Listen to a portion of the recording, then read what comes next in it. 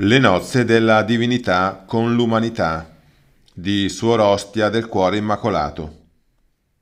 Santa Camilla Battista da Varano, la Santa Clarissa famosa per i suoi dolori mentali del Cristo nella sua passione, ancora da giovane principessa fece un voto decisamente particolare.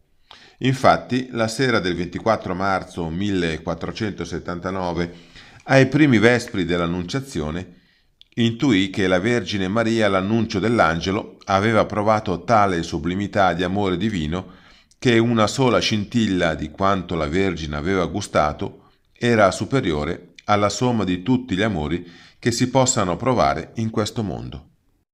Allora la fiera principessa decise di promettere alla Vergine di mantenere tutti i sentimenti immacolati, finché avesse capito quale fosse la volontà di Dio su di lei ma ad una precisa condizione che le fosse concesso di sperimentare una scintilla dell'amore che Maria di Nazareth aveva provato nel ricevere l'annuncio dell'angelo Gabriele.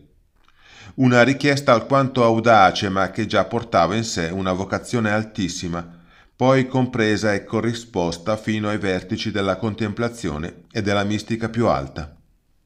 Ovviamente la Madre di Dio è la prima a desiderare di farci partecipi anche di una sola scintilla dell'amore provato in quel momento decisivo per tutta la storia umana. Il Verbo di Dio si è fatto carne in lei. La Trinità tutta ha guardato all'umiltà della sua serva, come innamorata del capolavoro di Dio, della piena di grazia, San Massimiliano Maria Colbe arriva ad osservare che in lei avviene il miracolo dell'unione di Dio con la creazione, in quanto l'Immacolata è l'apice della perfezione del creato e che Cristo, uomo Dio, è il frutto dell'amore di Dio uno e trino e di Maria Immacolata. In effetti l'angelo rivelò come sarebbe venuta tale unione d'amore dicendo Lo Spirito Santo scenderà su di te la potenza dell'Altissimo ti coprirà con la sua ombra.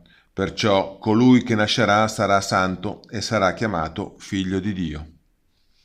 E lo Spirito Santo è proprio l'amore del Padre e del Figlio che diventa fecondo nella sua sposa immacolata.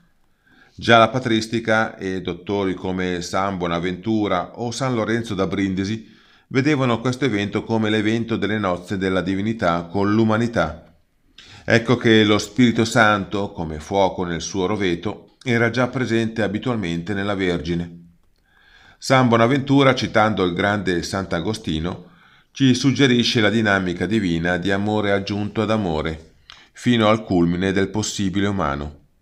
Dice, lo Spirito Santo è amore, sopravviene lo Spirito Santo perché si aggiunge amore ad amore. E ancora citando Ugo di San Vittore, Poiché l'amore di Dio ardeva in modo del tutto singolare nel cuore della Vergine, per questo compiva cose mirabili nella carne. Sì, lo Spirito Santo viveva già in lei e lei viveva continuamente in lui, poiché come immacolata non appannò mai con la benché minima sfumatura di colpa la perfezione della sua pienezza di grazia, unendosi progressivamente sempre più con l'eterno amore. E come dall'amore di un uomo per una donna nasce il figlio carnale, così dalla Vergine con Dio è nato il figlio di Dio. Infatti, il figlio di Dio, assumendo la natura umana, nell'unità della persona, fece di due, cioè della divinità e dell'umanità, una cosa sola. San Bonaventura. Se le nozze della divinità con l'umanità avvengono nel talamo dell'Immacolata Concezione, in quell'umanità perfetta c'era ognuno di noi, concepito nella grazia per opera dello Spirito Santo in colei che rappresentava l'apice dell'amore creato, l'Immacolata Madre di Dio. Ora ci è più facile intuire, anche se lontanamente, cosa comporti una sola scintilla di quell'amore. Sì, perché lo Spirito Santo è amore fervente, fecondo, incontaminato, virile, incorrotto e deifico. San Bonaventura. L'incarnazione del Verbo è quindi il mistero che ci rivela l'amore della Trinità per noi e si può percepire solo guardandolo nella stessa prospettiva in cui si è realizzato.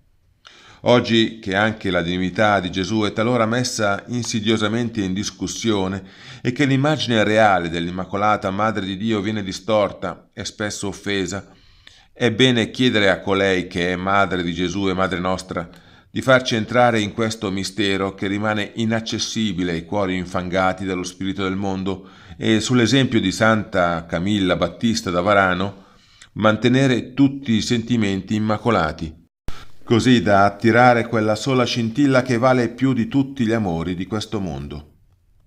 Se vogliamo comprendere chi sia Gesù, dobbiamo chiederlo alla sua Divina Madre. Il Papa San Pio X diceva infatti che la Vergine Santissima è il più grande e più efficace aiuto per la conoscenza e l'amore di Cristo.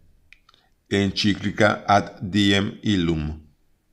Al riguardo, un esempio meraviglioso è quello del santo cardinale John Henry Newman, che fu attirato come da una calamita dal mistero mariano dell'incarnazione, in una conversione che dall'anglicanesimo lo portò alla Chiesa cattolica. Il santo cardinale, mosso dalla ricerca della verità e da un impulso interiore, fu portato a studiare il mistero di Maria, che ebbe una parte determinante nell'incarnazione, la quale era per lui il cuore della nostra fede. Oserei affermare che l'idea centrale del cristianesimo è l'incarnazione e da essa provengono gli altri aspetti della sua dottrina. Anche la vita di questo santo cardinale inglese dimostra che come Gesù lo dobbiamo cercare attraverso lei e in lei, non in un altro luogo, ma solo in lei. San Massimiliano. Sarà la Madonna stessa a farci capire come l'incarnazione sia l'inizio della nostra salvezza nello svolgersi storico della redenzione. Da quel momento infatti iniziò la missione della Madre come corredentrice dell'umanità, San Giovanni Paolo II, nella sua unica e attiva partecipazione al compiersi storico della redenzione. Ringraziamo la nostra Madre Celeste e chiediamole con tutta la nostra confidenza filiale di dare anche a noi una scintilla del suo amore, dell'amore che ha unito la terra al cielo, l'umanità alla divinità.